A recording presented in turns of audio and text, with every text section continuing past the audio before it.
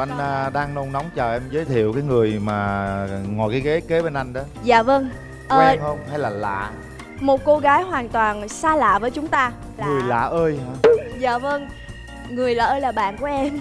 Cô ấy có một ờ, khả năng ngoại giao về ờ, ngôn ngữ tiếng Anh rất là tốt Và Vậy à? rất là nhiều, cô ấy biết rất là nhiều thứ tiếng trên thế giới.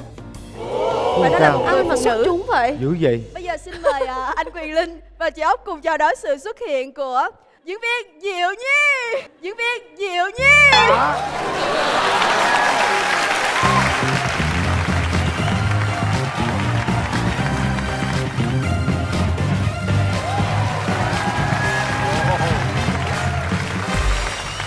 Em chào chị sam.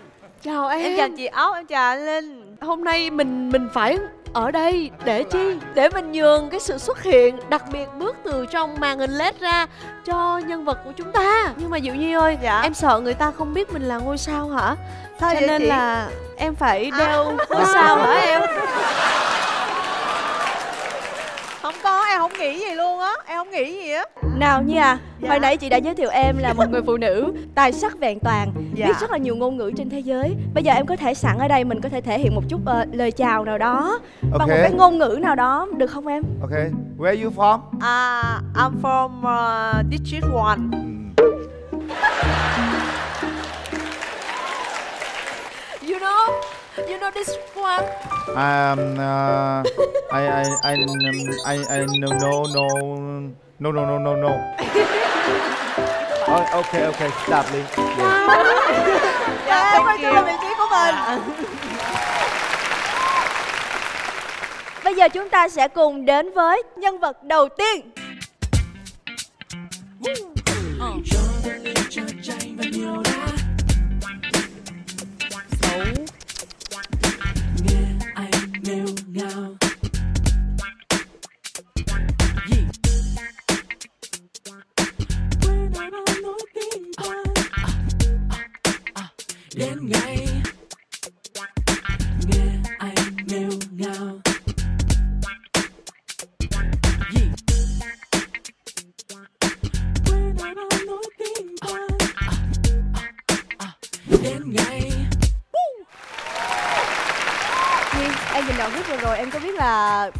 làm cái món đó là món gì không?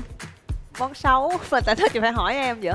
Vì chị coi cái cái cái cái cái, cái tài nữ công gia chánh của em tới đâu? Bởi vì đứa em của em em biết. Cái đâu, toàn- đó đâu cần tài nữ công gia chánh Tài ăn vặt thôi mà. Nhưng mà với kinh nghiệm của anh á, nhiều năm ăn xấu ở ngoài vỉa hè thì anh thấy rằng đây không phải là cái cô bán quán xấu.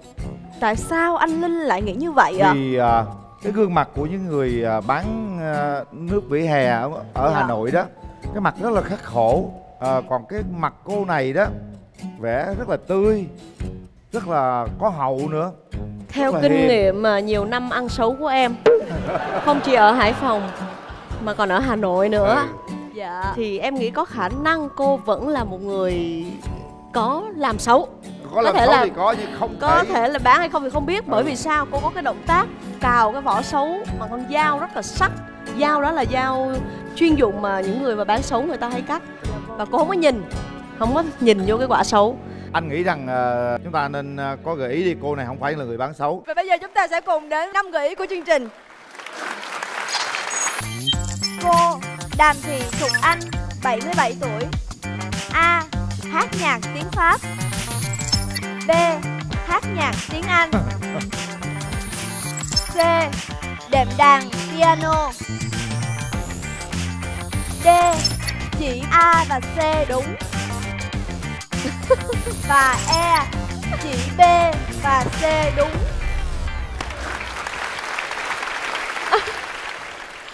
B và C và A và C, tức là hát nhạc tiếng Anh hay tiếng Pháp gì cũng cùng với đệm đàn piano tóm lại là có đàn piano. Có đàn và có hát. Và em nghĩ là cái động tác mà cô tạo kiểu như vậy là nhìn là đúng là biết là nghệ sĩ. Cô cô biết hát nhưng mà còn biết đàn piano. Em em nghĩ chương trình gài mình đưa ra hai cái đó để cho mình kiểu ồ là biết đàn này kia á. Em nghĩ chương trình gài á. Rồi. Vậy thì à, chọn quan trọng là chọn tiếng anh hay tiếng pháp thôi cô? Em chọn tiếng pháp đi. Tại chọn sao? tiếng pháp tại vì em nghĩ là với cái kinh nghiệm Dạ. về về về về ngôn ngữ của mình. Tại em nghĩ là ờ, các cô các chú lớn tuổi á, thì sẽ giỏi tiếng ờ, tiếng tiếng pháp hoặc là tiếng đức. Em nghĩ vậy. Mà hát tiếng pháp mà đàn piano á thì nó rất là đúng đúng với nhạc cổ điển á. Dạ. Ha anh nghĩ giờ chỉ có a và c anh chọn A và C tức là đáp án D. Đúng rồi a đáp án d. còn Diệu Nhi? Em nghĩ là chỉ có hát nhạc tiếng pháp thôi. Em nghĩ chương trình dụ mình cái de vậy là nhi sẽ chọn đáp án a. Dạ. Chị hy vọng là em đừng có làm những cái ờ, người mà trong giới sanh ngữ của mình thất vọng em nha. Chị ốc hả? Chị Ốc chọn đáp án B. Hát nhạc tiếng Anh. Vậy thì để xem tài năng của cô thục anh mang đến chương trình là gì chúng ta sẽ cùng gặp gỡ cô thục anh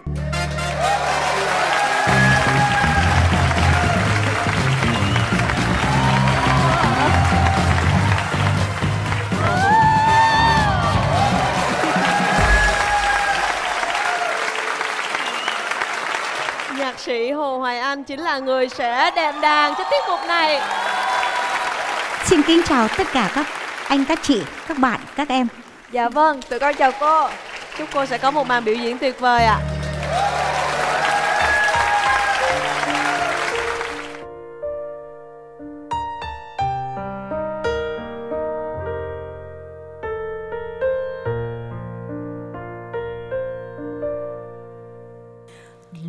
răng bét số đồng bia xa tô, Vì nơ phô mét sơ, viếng đa kri về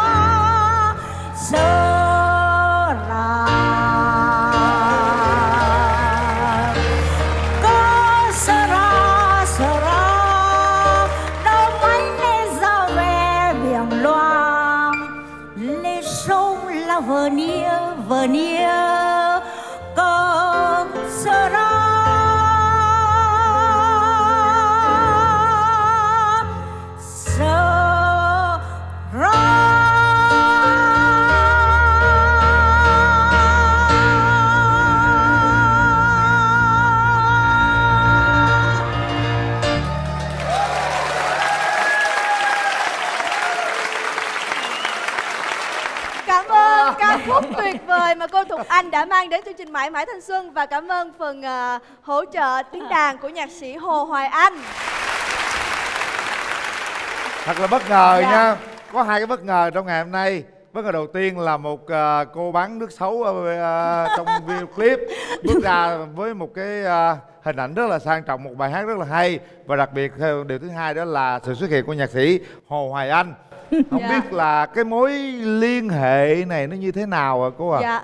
Làm thế nào mà Hồ Anh đến đây được đó là một vấn đề. Em à, là một học sinh rất giỏi của tôi ở Học viện âm nhạc. Dạ. Tôi à, xin giới thiệu tôi là giảng viên Con mời cô Học viện âm nhạc quốc gia Việt Nam và đến nay là tôi đã được 60 năm trên 60 năm giảng dạy ở đây đấy. Trời. Đó là một niềm tự hào khi tôi gọi đến một cái là Hồ Anh đúng rồi nhất định con sẽ giúp cô. lứa mà nổi tiếng như Hoài Anh đó cô sau đó trước đó cô còn nhiều người mà học trò mà như Hồ Hoài Anh nữa không cô À có hiện nay ở Học viện âm nhạc tôi có 40 học sinh là nhà giáo ưu tú, nghệ sĩ ưu tú, nhà giáo nhân dân và nghệ sĩ nhân dân. ồ anh Hồ Anh ơi và ngày hôm nay á, khi mà mình xuất hiện ở trên sân khấu và có thể hòa quyện cái giọng hát và tiếng đàn của mình với lại cô giáo của mình thì cảm xúc của anh như thế nào ạ? Ờm, thực ra thì cô Thục ờ, dạy Hoàng Anh hầu hết những cái năm sơ cấp khi mà Hoàng Anh còn nhỏ và uh, cũng rất lâu rồi cô nhỉ. Hôm uh, cô con mình không gặp lại nhau uh, sau cũng phải một vài năm. Khi mà cô có gọi điện bảo là Hoàng Anh là cô có tham gia cái chương trình này thì Hoàng Anh cũng thực ra Hoàng Anh cũng không biết về chương trình này. Nhưng mà khi mình đến đây thì mình mới thấy được một cái cảm giác rằng là có một cái sức xuân cảm thấy có rất là nhiều những cái cảm xúc và những cái năng lượng rất là nhiều mà chính những cái năng lượng đấy là từng những người như cô giáo của Hoàng Anh đã truyền cho tất cả mọi người và Hoàng Anh cảm thấy rất là hạnh phúc khi mà có mặt ở đây ngày hôm nay Em cảm ơn anh Hồ Anh rất nhiều. Còn cảm xúc của cô thì như thế nào ạ?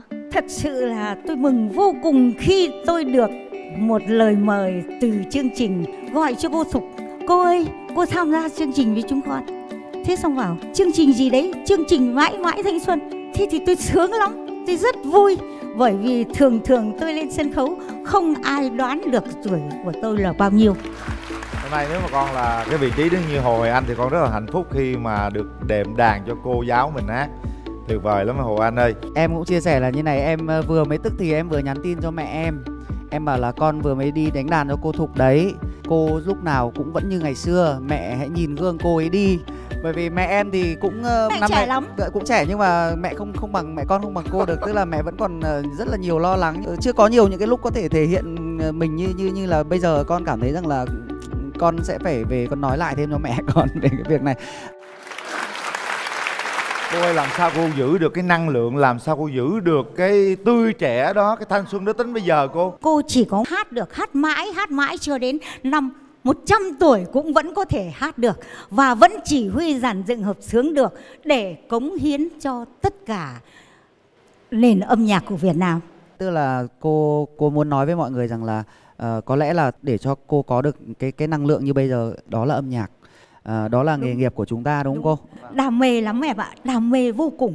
Đêm nằm cũng nghĩ rằng mình sẽ dựng cái này như thế nào. Đêm nằm mình sẽ hát cái kia như thế nào, sẽ phục vụ như thế nào. À, cảm ơn anh Hồ Anh rất là nhiều vì ngày hôm nay anh đã đến đây và ủng hộ cho cô giáo của mình. Em xin cảm ơn anh. một lần nữa xin được ờ, cảm ơn chương trình và con chúc cô cô ơi con ờ, luôn thương chúc cô là luôn luôn vẫn như là cái lúc này ờ, năng lượng tràn đầy và vẫn chúng ta vẫn yêu nghề vẫn sống với âm nhạc cô nhé Cảm ơn nhạc sĩ Hồ Hoài Anh. Cảm ơn anh.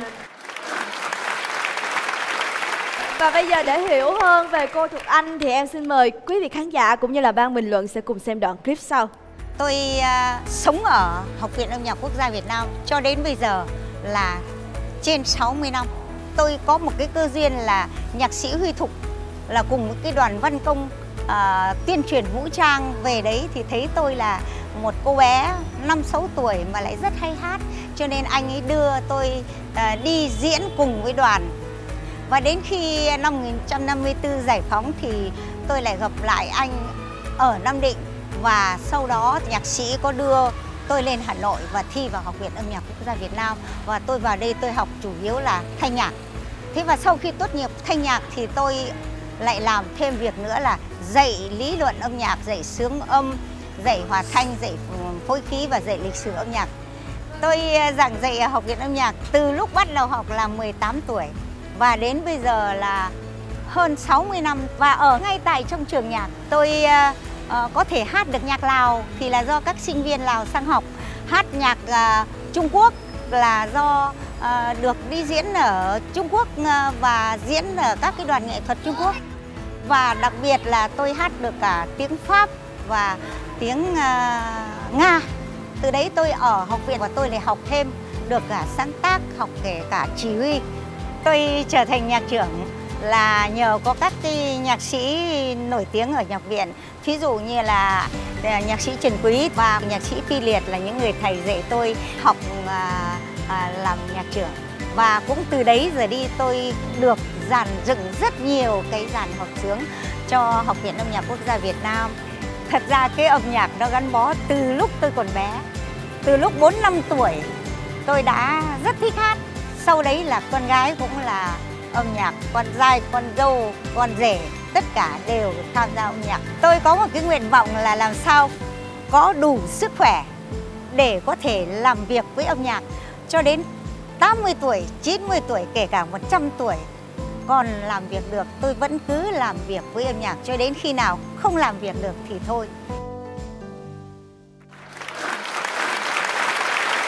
Cô ơi, ở đây thì có hai học trò rất là tiềm năng và con hy vọng là cô sẽ huấn luyện chúng con để chúng con có thể trở thành một cái mầm non, Cô- một cô- cái con có một ý tưởng nè cô sẽ nhanh thôi ạ ví dụ như bây giờ là mình có cái giờ học về ờ, nhạc lý Đúng hoặc là rồi. luyện thanh đó cô Dạ. xong cô sẽ ờ, đệm và luyện thanh âm và luyện thanh cho Sam với lại ờ, Diệu Nhi và một vài ờ, một vài nốt nào đó Dạ. thôi ạ đúng cô. Cô dạy cô dạy Giống một lớp ký học. âm thôi ạ. Một vài giống như là Dạy một hát lớp học bình thường Dạ. rèn luyện thanh nhé. Dạ, và nốt rèn luyện thanh nhé. Dạ luyện Dạ. thanh đó cô. Bạn nào thích lên đây Dạ, tôi dạ, dạy. dạ, dạ, tôi dạ, dạy. hát thử hát thử. Thế bây giờ làm một nốt trước nhá. Dạ. Ờ. Ờ.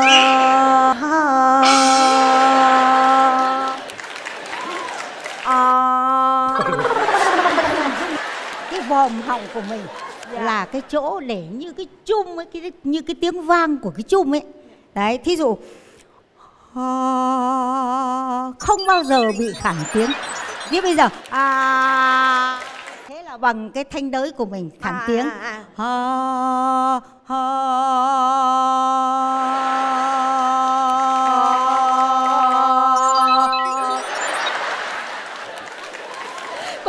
cho một cái đoạn là nhanh ví dụ như mía mía À, mía à. mía vậy đó. Mi mi Sao mi chị Thanh- mi mi mi chị mi Dân mi ơi, mi mà mà. hại tụi em đúng không? Không. Chị đang tôn vinh tụi em mà. cô mi mi mi mi mi Con mi theo ma một mi câu mi nha, mi mà đi nha cô. Hai ba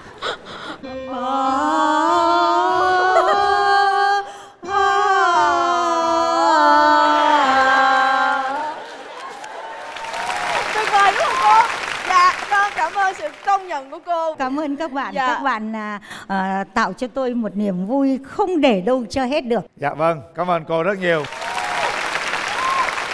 Chương trình của con có một cái món quà nho nhỏ muốn gửi đến cô ạ. Đã cô à cô hát tiếng pháp nên à, chương trình có món quà những cái món quà liên quan tới nước pháp xinh đẹp. À, đây là cái biểu tượng của à, Paris Dạ. dạ đây là tháp Eiffel. Dạ dạ vâng Dạ. ạ dạ tranh để Dạ. à, cô lưu lại dạ vâng hai chiếc khăn này nếu mà cô có đi dạy hoặc là có đi du lịch hay đi biểu diễn cô cũng có thể choàng thêm vào bên ngoài chiếc à, áo của mình để hình ảnh của cô sẽ đẹp hơn ạ À, xin hết sức cảm ơn chương trình. Các bạn đã mang lại cho tôi một cái niềm vui lạ lùng, một cái niềm vui mà có lẽ là tôi sẽ vui cho đến khi nào không còn làm việc nữa được nữa Dạ. và hy vọng sẽ nối nối tiếp thế này cho rất nhiều thế hệ trẻ. một lần nữa thì tụi con xin chúc cô mãi Mãi mãi thanh xuân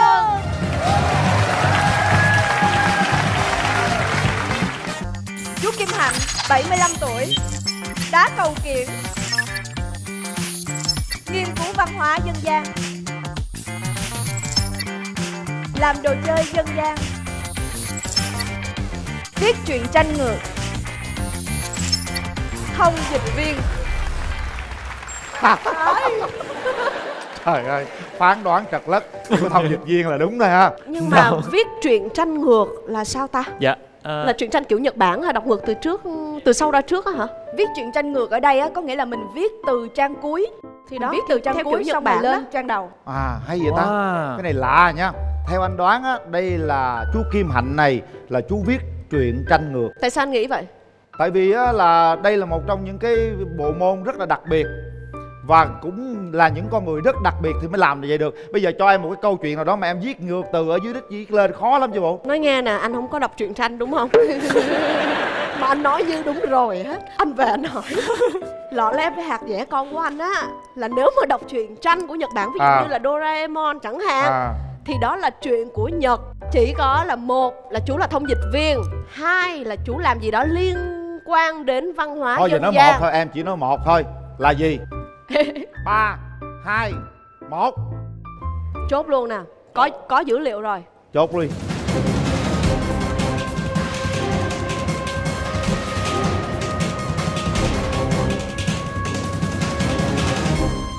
chốt hai được không?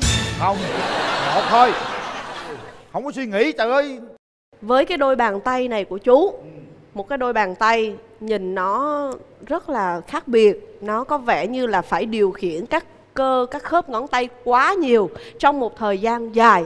Thì cái khả năng cao có thể là chú là một người làm đồ chơi dân gian và chắc chú cũng rất là am hiểu về văn hóa dân gian. Rồi chốt. Chốt. Làm đồ chơi dân gian. Em. Dạ Thật ra ngay từ đầu em đã giữ vững cái một cái mục đích chính của mình Là về khẩu hình và cái chất giọng chú nói ra. Em xác định chú là một nghệ nhân làm đồ chơi dân gian. Ủa gì kỳ vậy? Vậy là hai người này chung chung một quan điểm. Về chung một nhà nhưng mà hồi nãy anh nói từ đầu là anh nói là thông dịch viên giữ vững Kệ quan tôi điểm. Đi anh vẫn giữ quan điểm của anh. Chú là người viết truyện tranh ngược. Bây giờ á là để xem coi những phán đoán của ba bình luận viên có đúng hay không thì chúng ta cùng xem tiết mục của chú Xem Kim đi. Hành đúng rồi xem đi.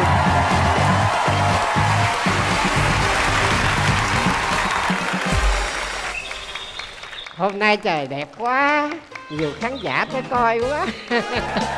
Vui quá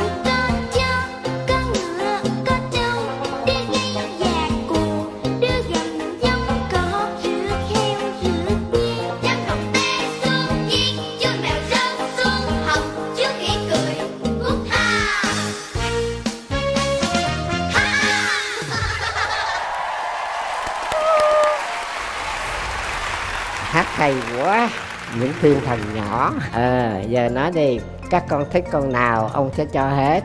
Rồi từ từ đo cho con. Ờ để lát ông hát cho mấy bài con này cho con nghe nha. Rồi ai nữa? Con nè chú Dạ ơi. con nữa. Dạ con đây chú ơi. Con con Dạ đây con. đây Lớn rồi.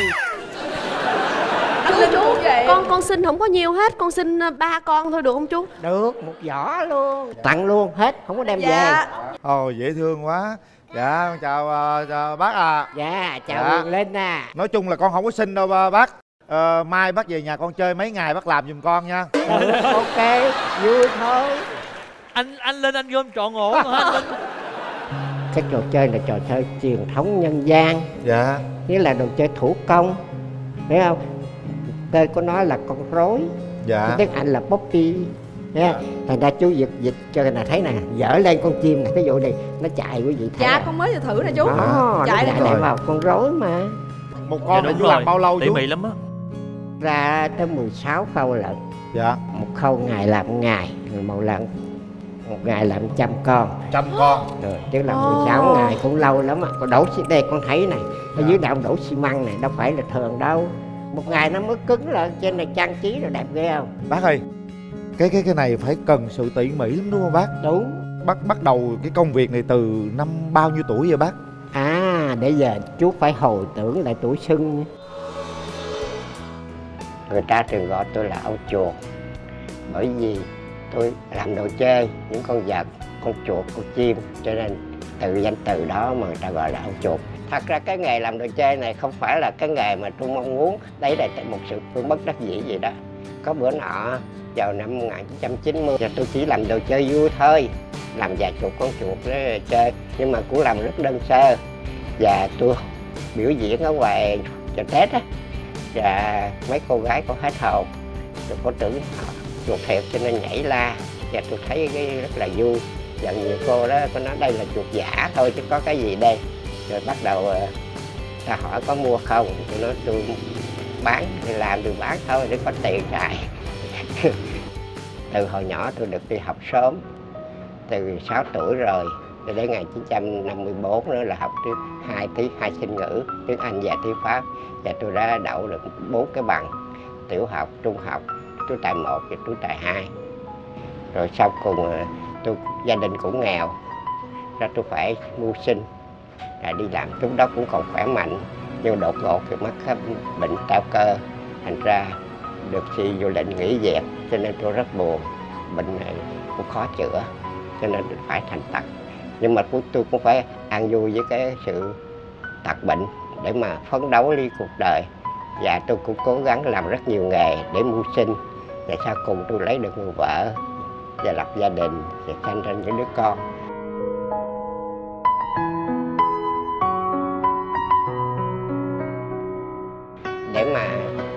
Kéo dài cái tuổi xuân. Thì đó là cái nụ cười và tình thương được ban rải. Cái nụ cười đó đặt ra như cái hoa vậy nếu mình không cười cái mặt mình nó xấu lắm. Nó mau già. Mà ta, ta thấy ghét ta cũng tránh xa lánh đi nè cho nên khi bạn mỉm cười như ông cười nè. À thấy à? Vui không? Cười. Thấy cuộc đời nữa là nó có cái màu hồng. Còn có mặt mình nhăn nhăn nhẽ ừ, ghê quá. Cái màu đen. Thì ra tôi khuyên tất cả mọi người hãy cười hãy ban rãi tình thương. Thì đó là cái niềm vui hạnh phúc mà nhỏ mọn mà mình đã ban rãi cho mọi người. Dẫu cái cái cá thù của mình đó từ trẻ cho đến lớn yêu già thương trẻ sống đi trọn vẹn cuộc đời của mình trong những tuổi còn lại. Thật ra tuổi già là cái tuổi gì biết không? Phải sức khỏe dạ. phải cái tinh thần sáng suốt một thân thể khỏe mạnh trong tinh thần. Minh mẫn đúng không? Dạ. Thấy không? Phải ăn uống cho nó đầy đủ ngủ cho điều đủ hay là rồi phải đọc sách nghiên cứu những tài liệu được phát triển những tinh thần và đạo đức đó. Biết không? Bây giờ Để chú vẫn còn tiếp tục đọc sách không ạ? đọc chứ chú bê đọc lắm Dạ.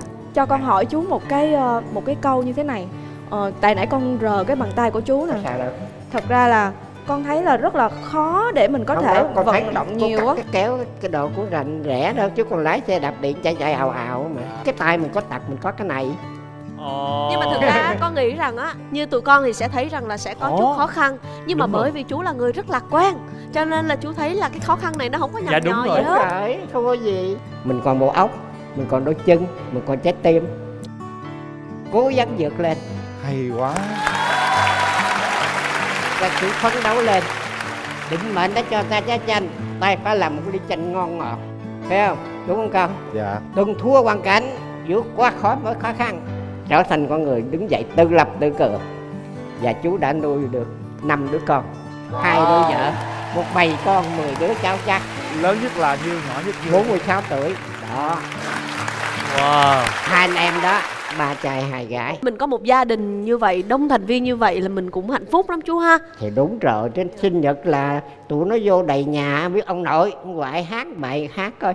Ông nói tao mà hát cái gì? Tao già rồi hơi hát đâu hát kệ giúp vui cho bà con à, Hôm nay coi như chú giúp ờ, cho tụi con có tinh thần thêm ờ, thanh xuân ơi Dạ, chú bài đó một bài để chú. Dạ một bài đi chú. Dạ. Con thực sự rất là hâm hâm mộ cái tinh thần mà lạc quan và cái ý chí Đúng của chú rồi. trong cuộc sống. nhưng mà chú nói trước với khán giả với quý vị đừng cười tôi nha Dạ. tôi già rồi nghe không hát không có hay Không chừng chú hát hay hơn mấy đứa ở đây đó đâu Dạ, đúng rồi tiếng gì đâu mà đâu có được thanh thoát như ca sĩ đâu Quan trọng là gừng càng già càng Rồi. cay dạ Dạ.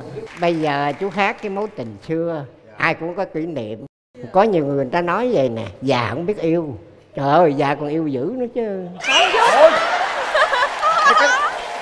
Cái này hay rồi nha. Dạ. thấy không? Chú làm con phải đổi thế ngồi gần chú nè. tình yêu là tuổi già nó có cái đẹp của tuổi già nó có cái chữ chính xác của tuổi già nó có trải nghiệm của chân già. Ngồi hát luôn phải không? Hai ai ba. biết hát thì hát luôn cho Dạ, nó vui. dạ. rồi. Đêm qua mưa giáng em đang ôm đàn diệu muôn tiếng tơ. Không gian trầm lắng như âu yếm ru ai trong giấc mơ mái tóc nhà rụng trăng vờn lằn sóng yêu ai ánh nắng cung đàn đầy vơi đôi mắt xa vời Wow. Đấy. Quan trọng là tinh thần thôi. dạ đúng rồi chú Rất là tuyệt vời Thiệt. chú ạ. Ở trong chú á, cái sự thanh xuân nó nó nó dữ dội lắm. nãy giờ con thấy là những người Dạ. con của chú nhìn lên sân khấu nhìn cha mình và rất là tự hào À, này. con nghĩ là chúng ta rất là may mắn khi mà có một người cha như vậy chúc mừng hạnh phúc của gia đình mình ạ À, chú ơi, ờ, trong cuộc sống mà điều gì mà có thể là giúp chú làm động lực để vượt qua những cái chặng đường vô cùng khó khăn và những cái lúc nào đó mà mình mình mình, mình buồn đó thì điều gì làm chú vui nhất? mình thâu vô rồi phải chia sẻ mình phải có trái tim rộng rãi Dạ. phải có tình yêu bao la thấy không mình phải làm người đó là mình mình là người đó hay mình không giàu không có định mà nghèo cũng không có khinh. Có khinh. Dạ. Cố gắng làm làm sao đây? Là một cái cây cổ thụ cho đốt con cháu nó noi theo cái bóng đó mình để mà tiến bộ lên. Ờ, nếu mà xác định như chú thì con người rất là thoải mái đúng, Đúng không? rồi. Chúng ta có một trái tim bao la, có một sự chia sẻ thì chắc chắn là chúng ta không có buồn, không có giận ai hết.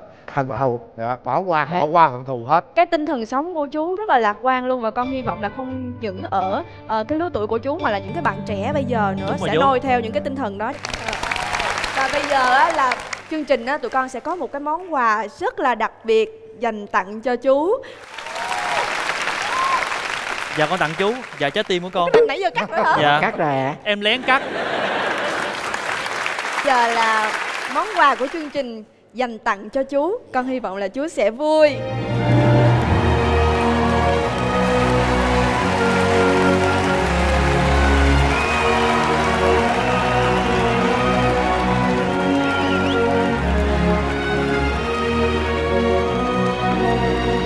Dạ, đây là những vật liệu mới để cho chú tiếp tục làm những cái món đồ chơi.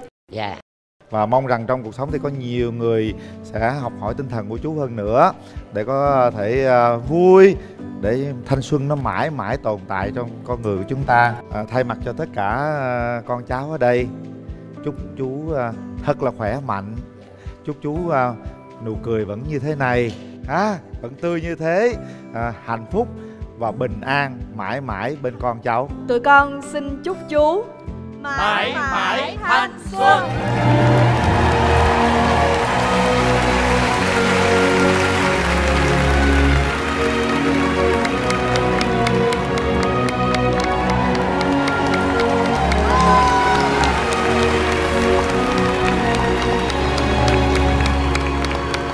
Xin mời gợi ý của chương trình.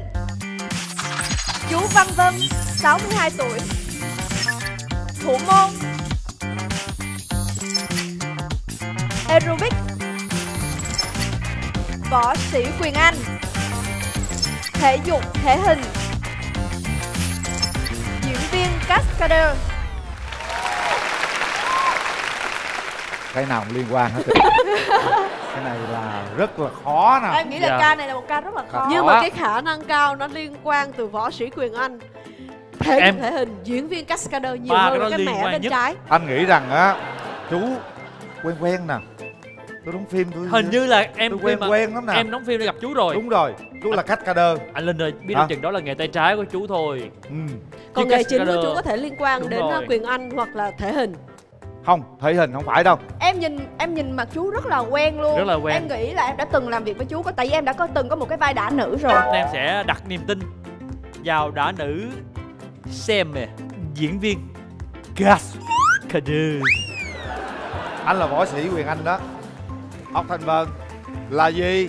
Ba hai một. Võ sĩ quyền anh này chốt. Anh linh cùng chung ý kiến với lại chị ốc. Anh cũng chung ý kiến là hai anh chị. Cái gì vậy? Anh nói theo em thấy quá mà vậy quy. Kệ anh đi. Anh nói anh theo em mà. Ấy anh theo em hả? Nãy anh nói anh theo em mà. Bởi vậy mình phải trước sau như một. Võ sĩ Quyền Anh. Vậy thì ba chúng tôi đều nói chú là Võ sĩ Quyền Anh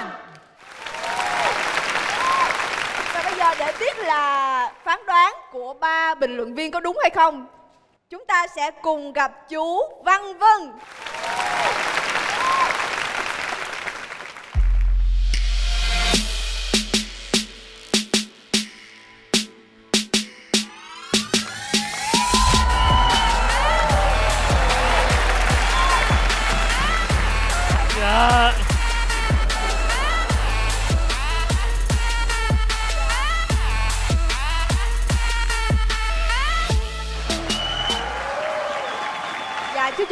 Sàng chưa ạ? Một, hai, ba, bắt đầu Trên màn hình đang là đồng hồ đếm ngược 1 phút 30 giây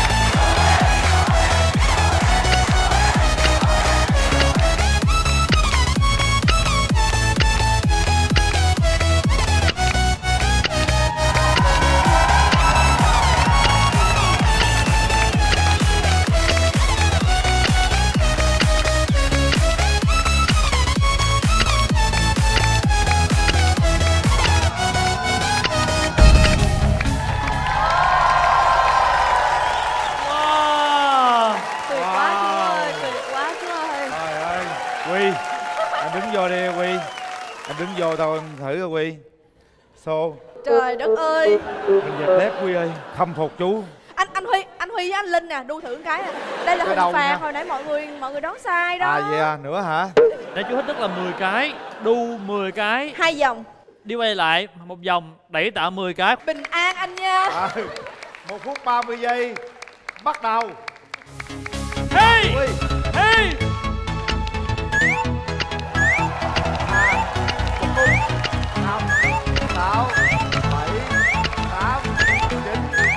mười chạy đi. Trời Ơi, ơi hả? Em quy làm xong nào thắng. Ô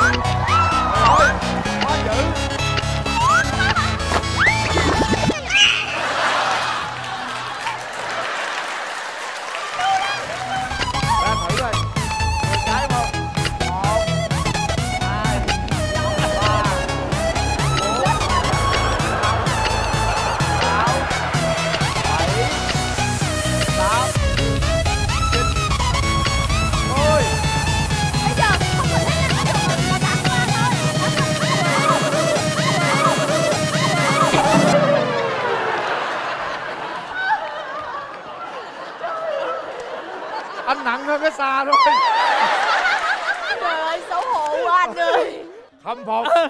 Sư phụ. Chú Văn Vân ơi con nể chú quá thiệt. Phải nói là khâm phục khâm phục chú. 62 tuổi mà như vậy là quá dữ Wow. rồi. Dạ. Làm sao để mà đến 62 tuổi mà vẫn còn khỏe như vậy chú hả?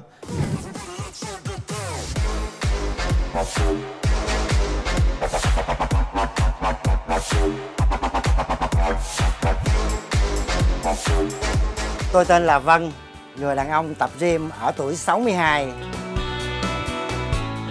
Tôi nhớ rất là rõ, cái ngày đó là cái ngày 7 tây tháng 3 năm 2009 thì tôi đã đăng ký phòng của anh Còn tôi tập cho đến ngày hôm nay luôn.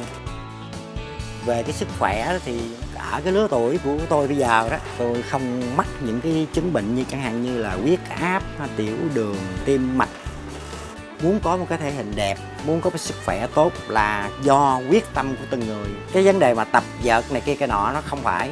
Cái quan trọng nhất là cái ý chí của mình. Theo tôi á thì mình có sức khỏe thì mình sẽ giữ mãi được cái tuổi thanh xuân. Mãi khỏe mãi thanh xuân. Từ cái tuổi 53 tôi mới bắt đầu đi tập.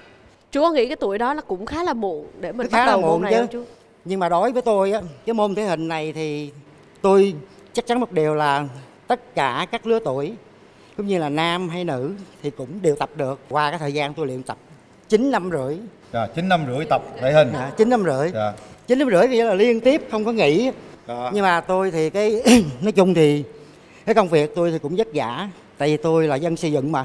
Công trình tư nhân thì cứ xa so với cái đông từ hóc môn củ chi số hoành về phòng tôi quận 2 thành phố hồ chí minh thì tôi cứ về đó tập thì tập xong rồi tôi quay về nhà tôi nhà tôi thì ở quận 8 á. Vậy vậy tại sao mà chú lại không có tìm rồi, một cái phòng tập tám. nào ở gần nhà mà lại phải di chuyển xa như vậy ạ? Mà mà trong suốt 9 năm qua là chú đều tập ở cái phòng tập đó luôn. dạ đúng rồi hồi xưa đó thì vô tình đó tôi là dân xây dựng trước khi mà mình khai trương thì mình cũng phải sửa sang lại này kia kia nọ thì cái huấn luyện viên Khánh Toàn á có nhờ tôi khi mà tôi được mà gọi tới làm á thì tôi rất là mừng mình đang đam mê cái môn thể hình mà bây giờ mình được làm việc trong cái phòng thể hình đó là một cái điều càng thích nữa. Thì bắt đầu từ đó tôi tập cho đến ngày hôm nay. Trước tiên là tôi cảm ơn đó, huấn luyện viên Khánh Toàn và tất cả các anh em trong cái phòng tập giúp đỡ tôi giống như là từ cái vật chất lẫn cái tinh thần. Đôi khi những cái lúc mà mình gặp ờ, ví dụ gia đình cái chuyện này chuyện kia khó khăn này kia cái nọ đó thì tất cả những cái điều đó rồi làm động cho tôi cái là không thể nào dù có xa xôi nắng mưa nhưng mà tôi vẫn phải đi tập. Thì cái điều đó tôi ở đây tôi muốn nói lên là cái điều gì? Tất cả đều do cái quyết tâm. Ở chú linh thấy cái này nè có hai thứ. Đó là cái tình cái hai là cái niềm đam mê. Cái quyết tâm. Quyết tâm của mình ha? À. nhưng mà sao mà da mặt chú có đi thẩm mỹ không? Đẹp hơn da mặt con chú Hai tiết mục của chương trình em mới phát hiện là thể thao giúp cho con người ta trẻ ra dữ đúng lắm rồi nha. thể thao giúp cho mặt nó già nó nó đẹp hơn. Còn không tập thì mặt nó già hơn. Chung thì à, tôi cũng tự hào cái điều 62 tuổi mà đi ra thì ai cũng nói là chú quá đẹp trai. Có nghĩa có nghĩa là cái tuổi mình như vậy nhưng mà mình vẫn còn thanh xuân đúng không chú? tôi cũng luôn như là mong mỏi là các anh các chị các em. Thì luôn luôn lúc nào cũng phải nói thường xuyên để tập à, thể dục thể thao. Mình có tập được thì cái tuổi tác với cái à, sức khỏe nó rất là tốt. Lúc nào cũng mãi mãi thanh xuân! Đối với à, chú Vân thì cái tình nghĩa là quan trọng nhất. Đúng rồi. ha cái tình đến với nhau có tình thì chúng ta sẽ chơi với nhau lâu dài có tình chúng ta sẽ có thêm cái những cái niềm đam mê và những cái quyết tâm trong tất cả mọi công việc. Và bây giờ những tình cảm của chương trình sẽ dành cho chú. Bắt đầu. Xin mời chú hướng mắt về màn hình ạ. một hai ba bốn. Lần đầu tiên con được gặp chú thì à, rất là ngạc nhiên. Con không nghĩ là một người ờ, lớn tuổi như chú mà lại có cơ bắp ờ, thật là đẹp, còn đẹp hơn cả tuổi trẻ tụi con. có nét gì đó sợ sợ tại thấy chú nghiêm lúc đó thì cháu phục nhất á, là cái cái tinh thần tập luyện của chú. Ban đầu thì cháu nhìn chú cũng như bao nhiêu học viên khác thôi. Nhưng khi mà chú, cách chú tập và cách chú tiếp nhận những cái bài tập của cháu chú giống như là chú truyền cái cảm hứng cho cháu. Chú giống như là chú chú làm cho cháu có cái động lực để cháu hướng dẫn tận tình và cháu truyền đạt hết cho chú tất cả những gì mà cháu cháu biết.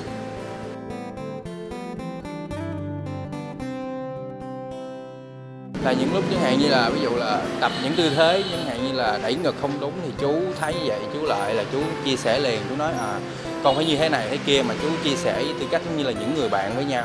Thực sự con là người à, à, giống như người tàn tàn phế vậy chú chú Văn.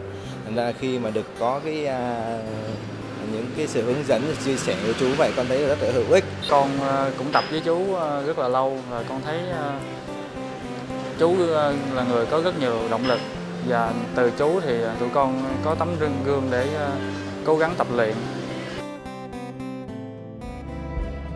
Con cảm giác chú giống như là người bạn của con vậy. cái người chú tinh thần mà để con cố gắng cháu luôn coi chú giống như một người anh một người cha trong gia đình chung là không biết à, nói gì hơn con cảm ơn chú Văn nhiều Con mong ờ, chú lúc nào cũng luôn vui sống và khỏe. chú Văn cố gắng lên chú Văn anh em trong phòng lúc nào cũng luôn ủng hộ chú theo sát chú cố gắng lên chú.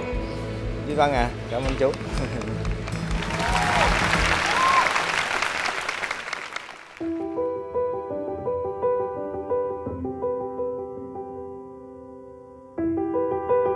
Chú nhìn ra đằng sau rồi chú.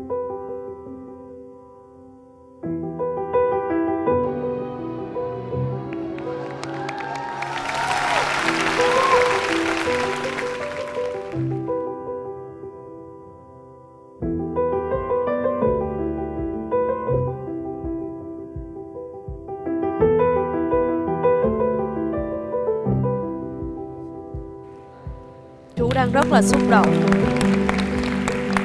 Hồi nãy ờ, lúc mà chú ờ, nói về cái đoạn đường mỗi ngày mà chú đi suốt gần 10 năm qua thì chắc các anh ở bên trong cũng nghe.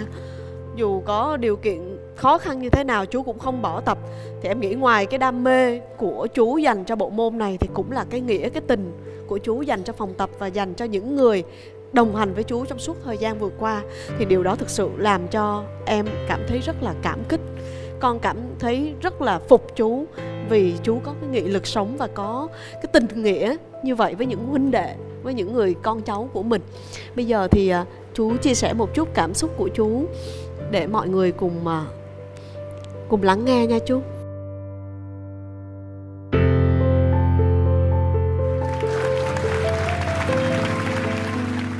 nói chung thì tôi à, hôm nay thì nói chung khi mà có mặt bốn luyện viên Khánh Toàn ở đây cái điều mà đối với tôi nó là rất là rất là bất ngờ.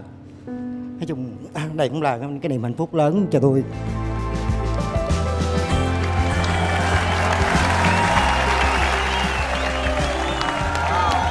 chú võ văn tâm là quý ông cơ bắp. Chúc chú mãi mãi thanh xuân